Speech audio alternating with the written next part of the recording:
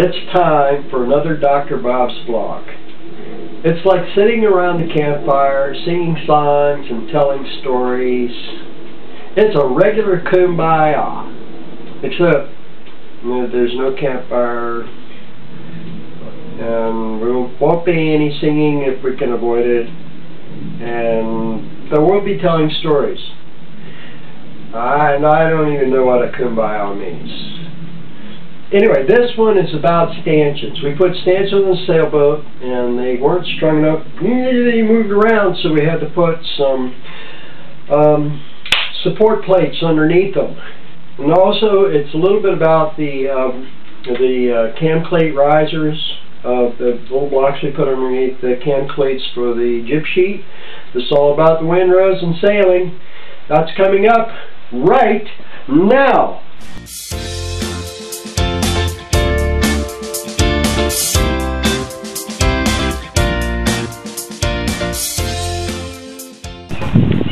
Okay, this is Dr. Bob. We're um, we're in the yard today. I've got the uh, windrows parked in the backyard. I'll take a little bit of fence manipulation. Um, uh, this is basically an episode on well, we finished the stanchions and reinforced them. So the stanchions were already in, but the problem is I didn't have a windy out here. Which is why I'm not putting the mast up. The mast is laying across the boat right now. But um, anyway, so the stanchions here, they're already in. They are, this was the back rip. Oh, that doesn't look very strong, does it? But it'll.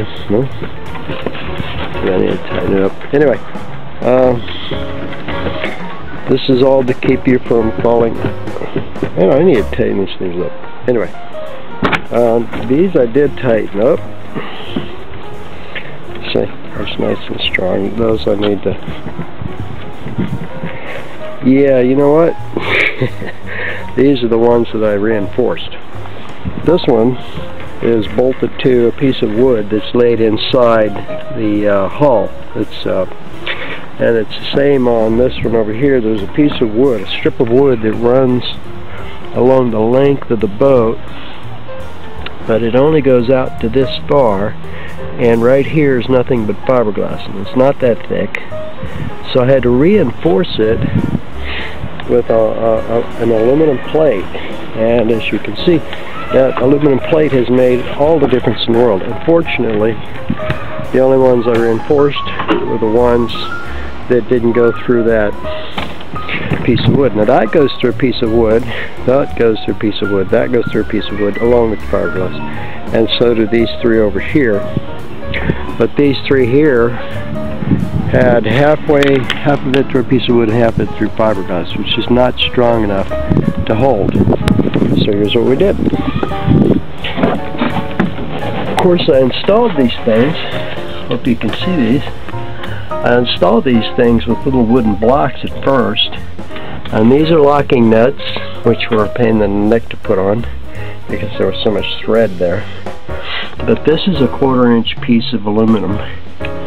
And you can see, as I said, right here, there's just nothing but fiberglass right there. Now here, here there's a piece of wood buried inside the fiberglass, inside the hull, and that provides some support, but in my view, not enough. Obviously, there's also a piece of fiberglass on this guy right here, or and a piece of wood, but as you just saw, it could probably do with a little bit more uh, reinforcement in that one as well and the ones in the back it wouldn't hurt for me to put um, this is our is silicone.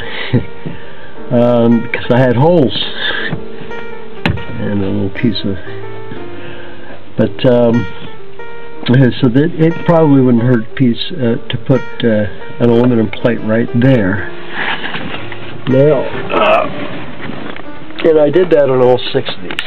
So I have that one there, that one over there, and as you can see that one there as well, and this one. But each one of them had a little uh, indentation or a quarter side. Well, like I said, a piece of wood that was missing that was built into the hull and this is where that piece of wood is and you can see right there I slid. That is a I saw it with a 3 8 and it was too much. Um, but this is a 3 16ths now if you're going to put this kind of supports on your stanchions obviously you're going to have to go underneath the hull and see what you've got. If you've got and you need to know how thick it is as well. Uh, the real test is when you need it. So um, now how did I get these on? I'm going to tell you a little trick I, I, I, I made up a tool because I'm by myself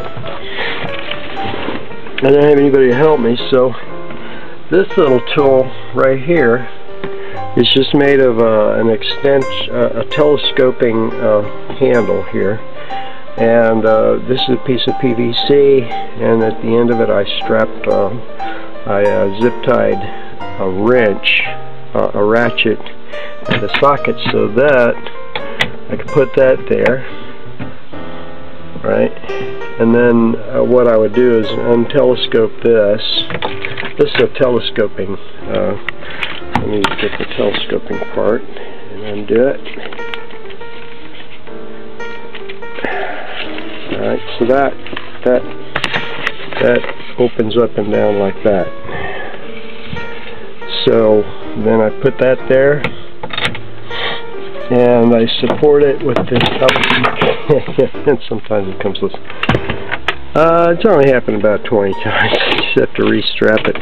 But anyway, this I telescope that and lock it into place and then um, set the ratchet on go on uh, take it off or put it on and then I go up top with a, a drill and screw the thing in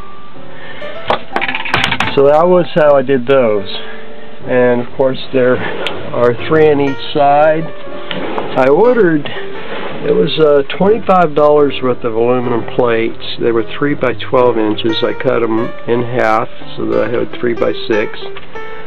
And then uh, I have six plates here and I have six more. So if I want to do another one for that one, that one, and that one so I can reinforce those, I have I have uh, six plates left. So three there and three there because as you saw, they, they look a little bit loose. But at this point I trust I trust the stanchions now for the first time. And gosh what's that? Place where it needs to be painted. Okay. I trust the stanchions now for the first time and I'm very happy. I also learned if you put a board here it's a lot easier to get in and out of the out of the camera. Thanks for watching my program. If you like my videos, be sure and subscribe to my YouTube channel.